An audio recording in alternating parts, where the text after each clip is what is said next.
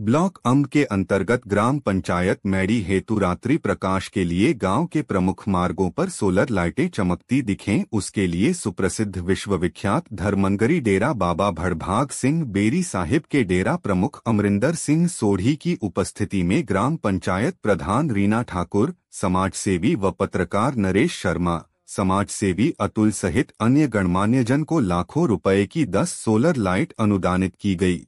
डेरा प्रमुख ने कहा कि शाम होते ही ग्राम के कुछ हिस्से में अंधेरा छा जाता है। सोलर लाइट दान देने का मकसद है कि सड़क मार्ग और ग्रामीण रास्तों पर रोशनी बिखरती रहे तथा शहरों की तरह गाँव की सड़कों पर ये लाइटें उजाला करें, जिससे चोर उचक्कों पर भी अंकुश लगेगा।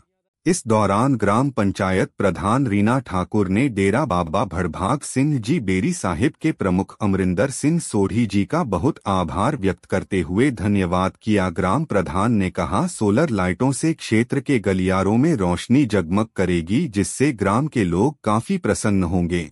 खासकर वह तो अधिक खुश होंगे, जिनके दरवाजों के पास यह लगी होगी। उन्होंने कहा, ग्रामीणों व राहगीरों को होगी आसानी। यह स्ट्रीट लाइटें उनके दरवाजे का अंधेरा मिटाने के साथ आसपास भी रोशनी फैलाकर अंधेरा दूर करेंगी।